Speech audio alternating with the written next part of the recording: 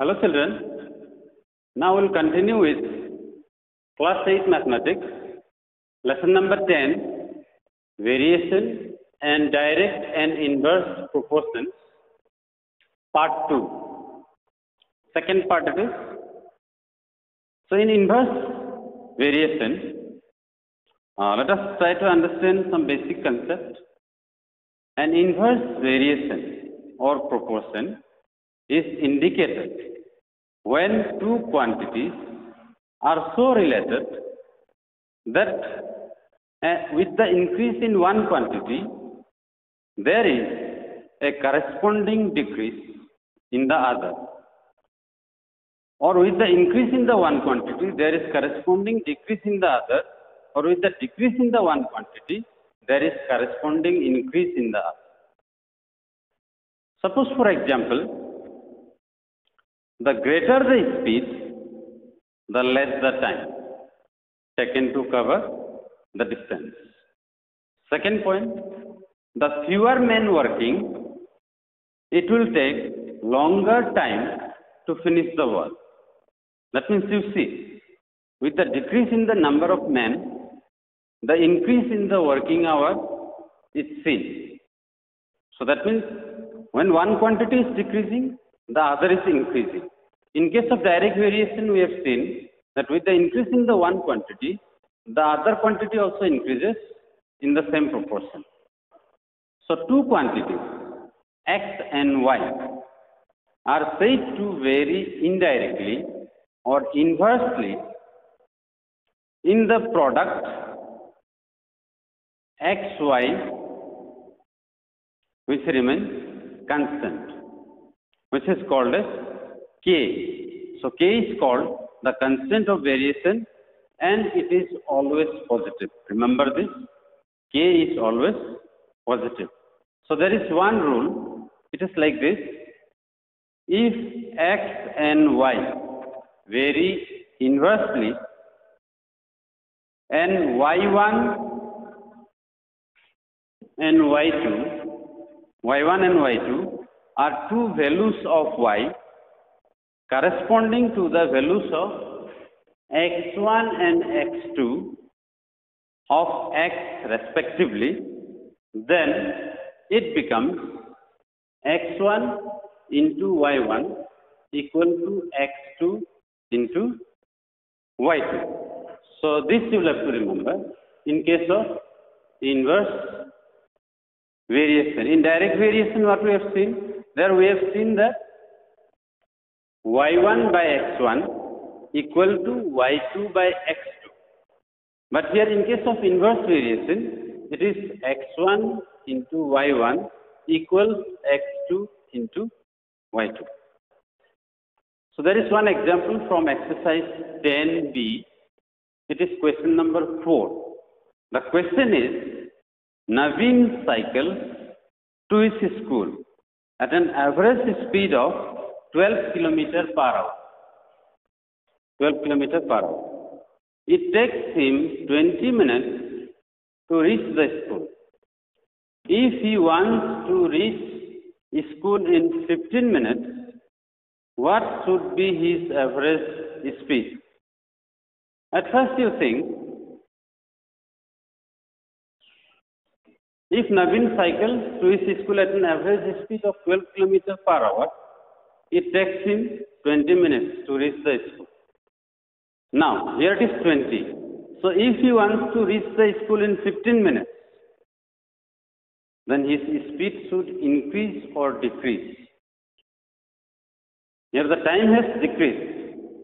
It was 20 minutes, it is 15 now.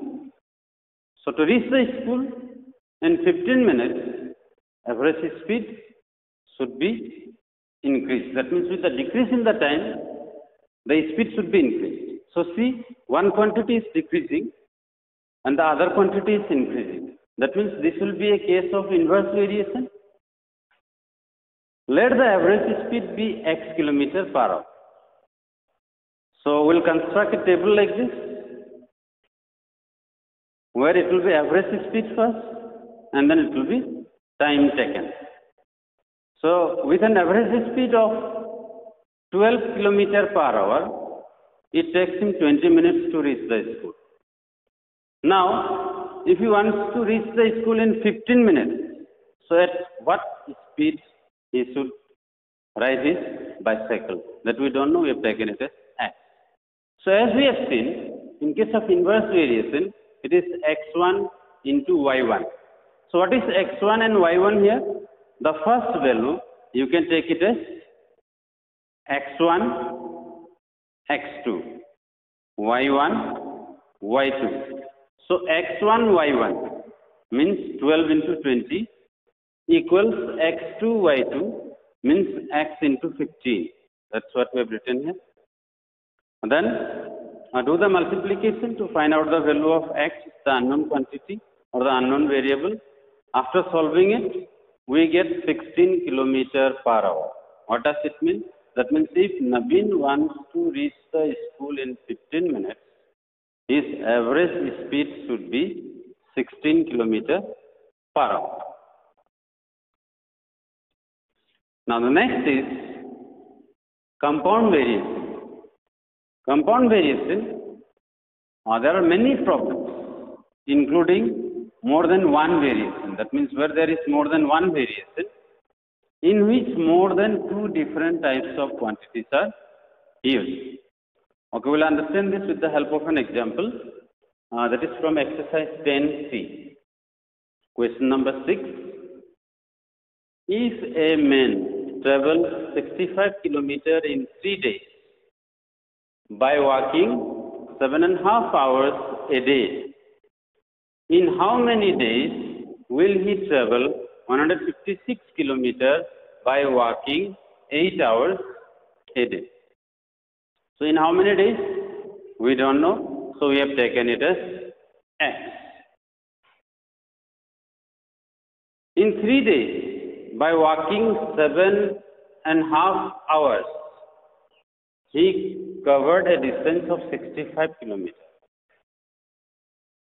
Then it means in one day, by walking one hour, how much of distance he will cover? He will cover 65 into 2 by 3 into 15.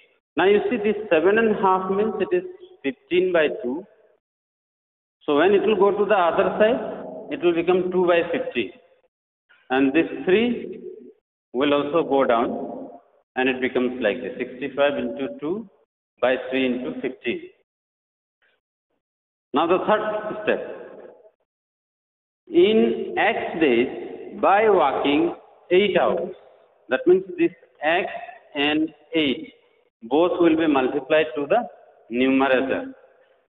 We get this relationship 65 into 2 into x into 8 by 3 into 15. But here it is given that the total distance covered is 156 kilometers. So according to question, it will become equal to 156. Now from that, if we solve this, we get that to cover a distance or to travel a distance of 156 kilometers by walking 8 hours a day, it will take him 6 3 by 4 days. So with this, we have completed. Thank you so much. Stay safe eh? and keep learning.